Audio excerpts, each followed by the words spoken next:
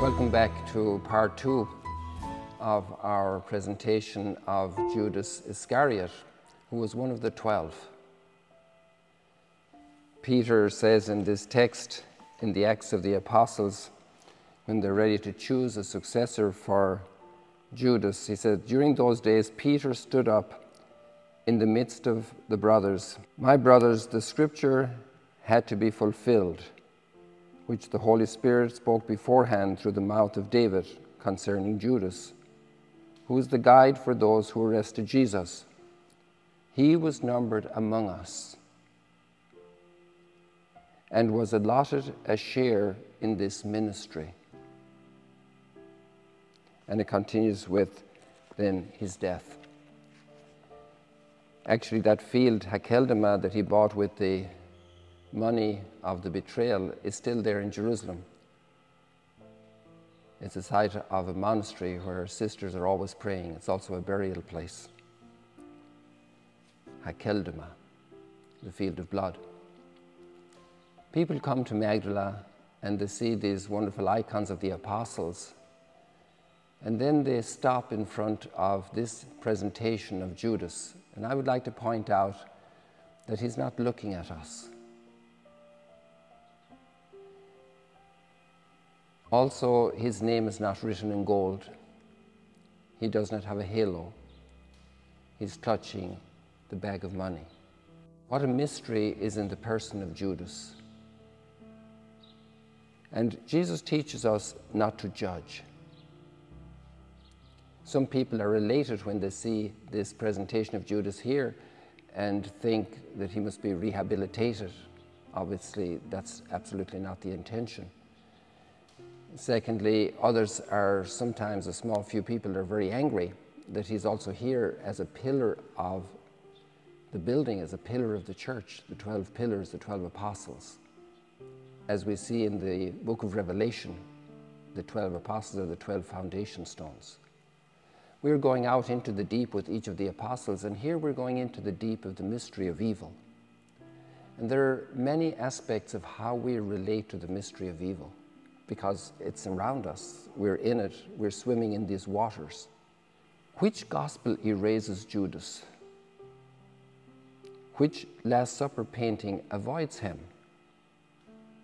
But with the apostles here in Magdala, we're at the beginning of the public ministry. And none of the apostles should have a halo because they're way, a long way from becoming a saint. They're starting. And Jesus has a lot of patience with every one of them. And some of them commit very serious faults. Maximum Peter, with his triple denial of Jesus despite all the blessings he had. The presence of Judas in the scriptures allows us to confront consciously the mystery of evil in the world. We already remembered in the first part how Satan entered him. It was night, the suggestion of darkness.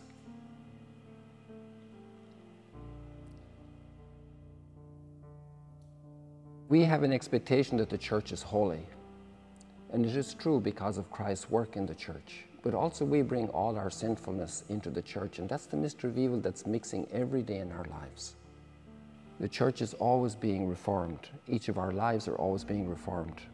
Jesus was criticized for eating with sinners. People are sometimes scandalized that the church is not holy in many of its members ordained and baptized.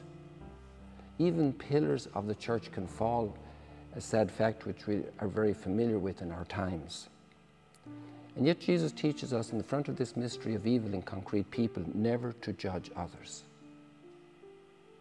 Paul teaches us even not to judge himself when he was obviously very um, revered for his commitment and total integration in Christ.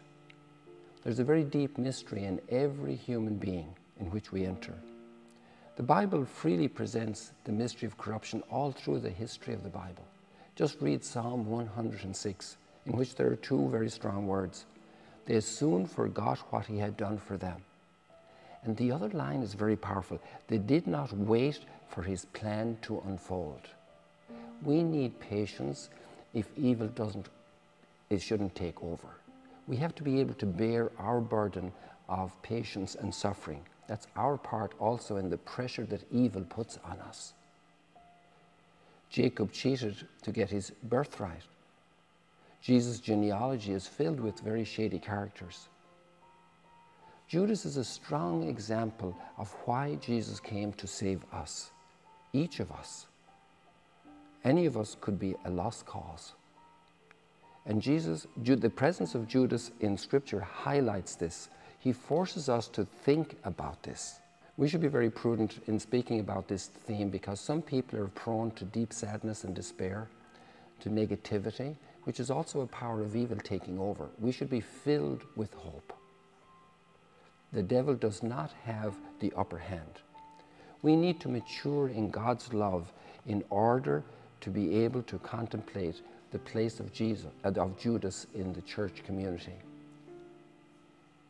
We should never joke about Judas or sneer at him or about him or call anyone Judas, which I happened to hear very sadly actually in the streets of Bethlehem when I was recently arrived here in the Holy Land 16 years ago. It's a very sad moment of anger and apparent social posturing as well. Would you become Matthias today to replace those who fall today? Many people respond to the presence of evil deeds by offering themselves to God to do good. Are you ready to fill in the place for somebody that's doing evil? We need to pray for our final perseverance, the ultimate grace, for a happy death, reconciled with God and in the community. We are sustained by grace, but for the grace of God, there go I. And so I ask all the pilgrims when we talk about Judas to say two prayers for me.